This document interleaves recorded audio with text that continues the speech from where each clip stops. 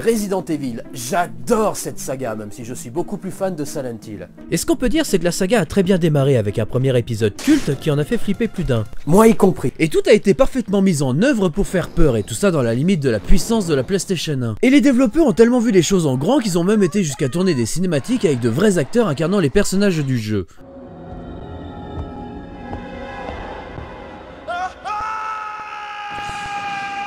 Mais c'est quoi cette réaction? Dans le manuel du jeu, Chris Redfield est décrit comme quelqu'un de dur à cuire et qui possède un moral solide, et lui, à la vue d'un monstre, il se met à courir de façon exagérée et à crier comme une tapette. Mais ça doit être dur dans la vie de tous les jours si tu réagis comme ça à chaque fois que tu flippes. Ah, je déteste la paperasse. Tiens, mais c'est Chris. Bouh Je comprends mieux sa masse musculaire dans Resident Evil 5. Sûrement un manque de confiance en lui.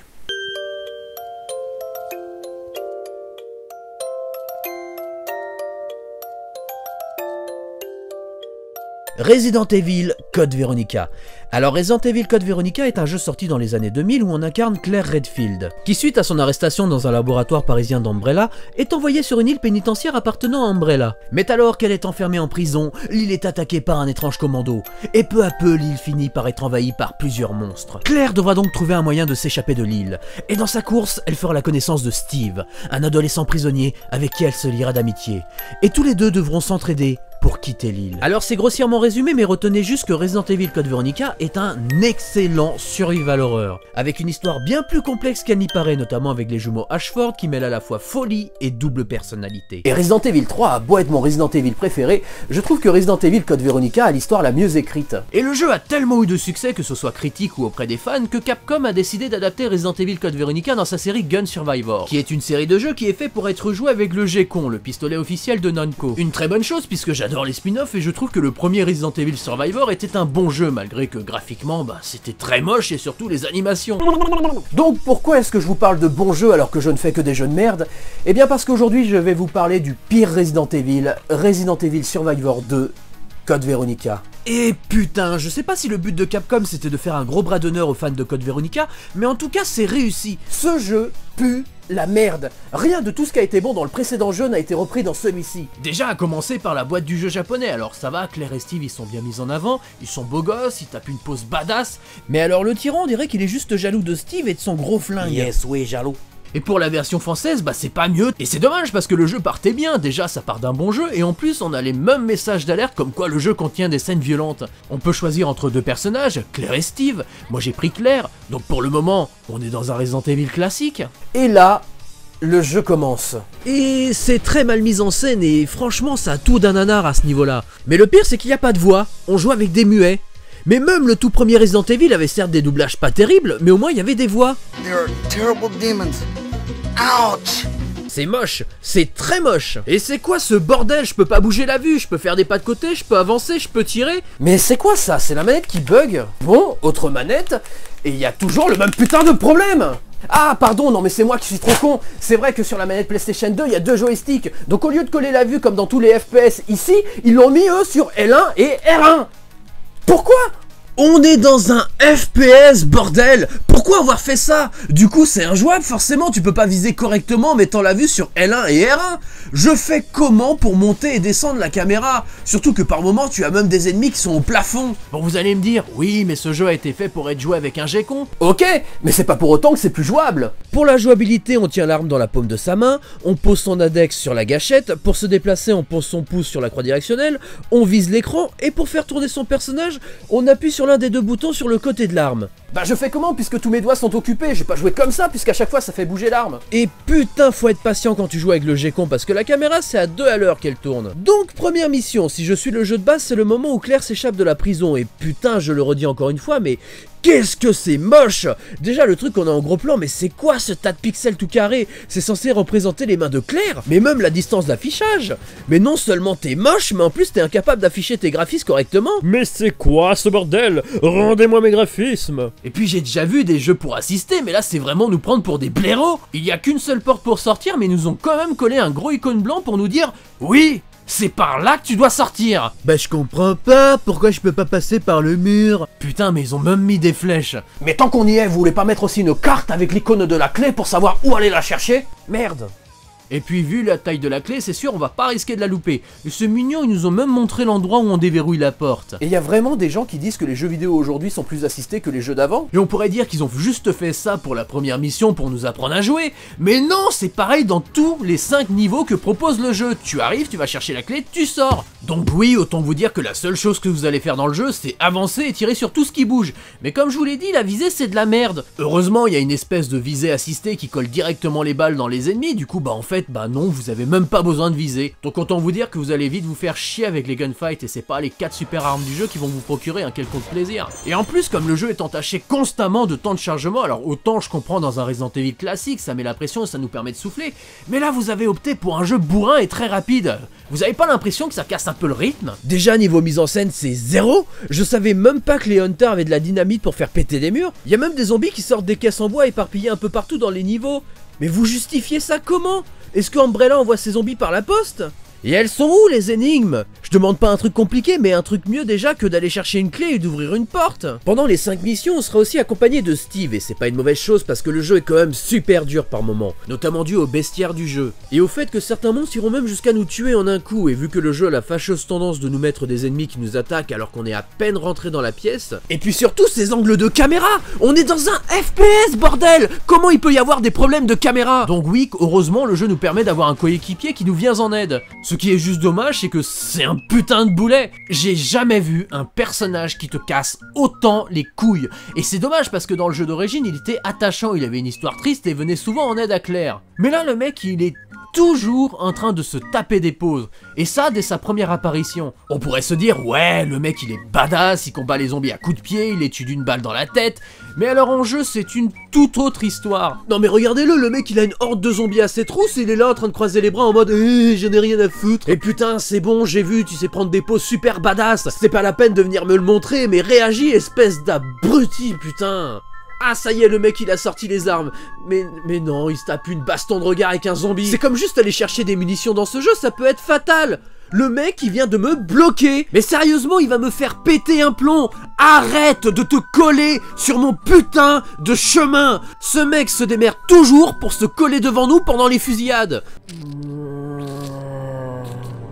Ok c'est ma dernière balle. Bonjour je m'appelle et en plus, tu me tires dessus et tu me braques par la même occasion. Mais t'as vraiment un problème, mon petit bonhomme, et va te faire soigner. Alors, je sais, j'insiste beaucoup sur les graphismes, mais le jeu se passe dans les décors de Resident Evil Code Veronica. Mais Resident Evil Code Veronica, c'était beaucoup plus beau. Pourquoi avoir rendu le tout plus moche? Surtout que là, on est en vue à la première personne, alors les décors, on les voit de plus près. Notamment ce mur dégueulasse. Et puis c'est même la première fois que je vois ça dans un jeu vidéo, mais ils ont même réussi à rater le ciel. Mais comment on peut être incompétent à ce point-là? Bouge pas oh, Non, non, non, ne tirez pas, ne tirez pas Qui es-tu? Euh, je m'appelle James, euh, James Sunderland. Euh, je suis là parce que ma femme m'a envoyé une lettre me demandant de venir à Silent Hill. Silent Hill? Oui, c'est la ville où on s'est rencontrés, mais c'est bizarre parce que j'ai tué ma femme. Quoi? Oui, euh, elle m'a tellement cassé les couilles avec « Ah oui, j'ai un cancer, je suis en phase terminale, je souffre !» Du coup, j'ai pris un oreiller et je te l'ai étouffé, cette connasse Vous êtes complètement paumé, mon pauvre gars. Pas autant que vous, on dirait. Je suis à la recherche de Claire Redfield. Son frère m'a envoyé ici la chercher. Bah ça tombe bien. On est deux à rechercher quelque chose. On n'a qu'à essayer... cette porte S'il vous plaît... Aidez-moi, je m'appelle Steve, on m'a tiré dessus. Ah, mais je vous ai pas demandé de m'achever Alors pendant notre excursion, on sera aussi amené à croiser plusieurs monstres, dont les fameux Likers, qui sont apparus à partir de Resident Evil 2, des créatures super agressifs. Par contre, j'avais pas souvenir qu'ils nous chiaient dessus. Alors vous avez dû remarquer qu'en haut de l'écran, il y a un décompte avec marqué qu'il reste tant de temps avant l'arrivée de Nemesis. Alors oui, Nemesis est dans ce jeu. Oui, le Nemesis qui est dans Resident Evil 3, celui qui a fait peur à tout le monde, est intégré au jeu. Et sans déconner, il m'a fait flipper de ouf quand j'étais gosse. Chacune de ces apparitions était un grand moment de stress pour moi, surtout quand il se mettait à nous courir après. Du coup, oui, j'avoue, j'appréhende un peu le moment où Nemesis va arriver. Et justement, le voilà. C'est quoi ça? C'est la contrefaçon chinoise de Nemesis Putain, mais t'étais beaucoup plus impressionnant sur PlayStation 1, tu étais même beaucoup mieux détaillé Donc oui, euh, le jeu se complique encore plus, car si on l'approche de trop près, il nous tue en un coup. Et vous pouvez utiliser toutes les armes que vous voulez, c'est impossible de le repousser, notamment parce qu'il est invincible. Et comme les couloirs sont très étroits, j'avoue, j'ai eu un petit moment de flip, notamment quand j'étais dans cette pièce. Quand je l'ai entendu rentrer, j'ai voulu sortir au plus vite pour pas me retrouver nez à nez avec lui, parce que je savais que j'avais aucune chance. Mais il est sérieux lui? Mais pousse-toi Mais putain, mais c'est pas possible d'être aussi con. Allez, dégage, putain! Putain, mais t'es vraiment un fils de pute, Steve. Je te jure que je vais créer un comité anti-Steve et je vais commander des pizzas que tu devras payer, connard En plus, à force de jouer, je me suis rendu compte que Nemesis était aussi très con. Déjà, le mec il passe le plus clair de son temps à marcher, marcher, marcher, si bien qu'on est obligé de l'attendre. Je veux bien que tu te la pètes à chaque fois que tu apparais dans les niveaux, parce que oui, le mec il arrive, il défonce des murs, des portails, des plafonds, tout ça dans une grande explosion. Donc autant dire qu'il soigne son entrée, mais si c'est pour te fatiguer par derrière, bah abstiens-toi Non mais regardez, le mec il est tellement fatigué qu'il arrive même plus à monter des escaliers. Limite, il va nous faire une petite crise cardiaque. Ah, Qu'est-ce qui se passe? On est fatigué? Et puis sérieux, tu pètes des murs et des plafonds mais t'es pas capable de péter une simple table en bois? Et puis il est tellement con que si je m'amuse à faire le tour de la table, il va le faire avec moi. Il y a aussi des moments où on est tranquillement en train de ramasser des armes, il apparaît comme ça par magie, puis disparaît aussi sec. Ok, tout va bien dans le jeu. Et puis comme vous l'avez sûrement compris, pendant tout le jeu, Nemesis va nous traquer. Il y a même l'avant-dernière mission qui n'est dédiée qu'à ça. Faudra juste le fuir. Du coup, je me suis dit qu'au bout d'un moment, on allait l'affronter, le tuer une bonne fois pour toutes pour mettre fin à cette traque.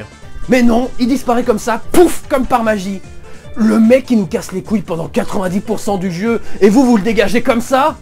Mais faut arrêter de boire et faire un vrai jeu Alors je reviens sur un truc, ok le scénario de Resident Evil Code Veronica est très complexe et serait très dur à mettre en œuvre dans un jeu aussi court, Parce que oui, 5 missions et sachant que la durée de vie moyenne est de 2 minutes, c'est court Mais merde Dans ce cas, pourquoi avoir fait venir Nemesis et dégager complètement certaines personnes du jeu original? Là, tout ce qui reste, c'est Alexia Ashford. Elle débarque dans la quatrième mission, tu sais pas d'où elle sort, tu sais pas qui c'est, elle parle 5 secondes avec toi puis elle évolue en racaillou. On la bat dans un combat complètement nul et pouf, elle meurt, comme ça, comme une merde. Putain, mais dans le jeu de base, c'était un personnage hyper important puisque c'est elle entre autres qui a inventé le virus Veronica, et eux ils font ça même son frère jumeau qui est tout aussi important dans l'histoire du jeu, bah lui a complètement disparu. C'est dingue parce que si tu voulais un bon résumé de Resident Evil Code Veronica, bah c'est mort. Là tout ce qu'on peut retenir de l'histoire c'est que Claire s'échappe d'un couloir, elle fait la connaissance de Steve, il se dirige vers le manoir. Une fois arrivé au manoir et tue Alexia, ils en profitent pour faire un barbecue et brûler des marshmallows, ce qui a pour conséquence de foutre le manoir en autodestruction. Et ça réveille par la même occasion le tyran et j'avais jamais remarqué mais il est à poil. Il le tue, il trouve un avion de chasse et il se barre. Quoi? Attends, tu vas pas me faire croire qu'un gamin de 17 ans et une gamine de 19 ans savent piloter un avion de chasse Vu comme ça, c'est vraiment de la merde l'histoire de Code Veronica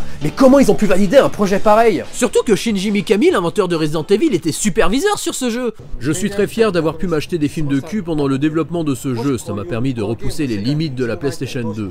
Mais le pire dans tout ça, c'est que dans le jeu original, une fois qu'on avait terminé l'histoire, on avait accès à un mode battle qui nous permettait d'incarner plusieurs personnages de la saga Resident Evil. On avait aussi la possibilité de jouer en mode FPS, et c'était 100 fois mieux Là, l'ambiance était clairement mieux retranscrite, les graphismes étaient meilleurs, la jouabilité alors que c'était qu'un jeu bonus Là, on est dans un jeu complet et tout est pourri. Mais y a même des zombies qui se font péter à la bombe tellement ils en ont marre. Et c'est quoi ce boss minable qui meurt en une balle? La cinématique d'introduction est plus long que le combat. Et pourquoi est-ce que dans cette chambre il y a une dizaine de zombies à poil? Dans tout le jeu, à chaque fois par pièce grand maximum, il y a 5 zombies. Et ils sont tous habillés. Et là, dans la seule chambre du jeu, il y en a une dizaine et ils sont tous à poil. Ah, c'est trop bandant. Et en parlant de gens à poil, c'est comme le combat final contre le tyran. J'en avais tellement marre qu'au bout d'un moment, j'ai laissé les intelligences artificielles régler leur compte entre elles. Et fallait voir ça Déjà, Steve, comme je vous l'ai montré, il est complètement teubé. Mais alors le tyran, c'est pas mieux. Sauf que Steve avait l'excuse d'être un con. Mais alors le tyran, c'est censé être une arme hyper intelligente. Et là, il se tourne autour tout en prenant bien soin de s'éviter. Et c'est... Euh... Bah c'est limite artistique en fait. Tu mets une musique de ballet et ça passe nickel.